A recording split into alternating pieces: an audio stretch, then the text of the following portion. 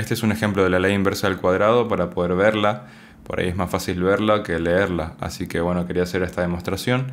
Eh, la ley hace referencia a cómo la luz se propaga en el espacio y cómo la caída de la intensidad genera una pérdida de contraste según la distancia en relación al sujeto. Esto se usa en las películas para, por ejemplo, generar una luz más pareja en una escena y darle al actor o a la, o a la cámara más lugar de, de, movimiento, más libertad. Espero que les sirva el ejemplo. Eh, al final vemos una comparativa en cuanto a cómo cambia el contraste cuando la luz está cerca a cuando la luz está lejos. Espero que les guste. Saludos.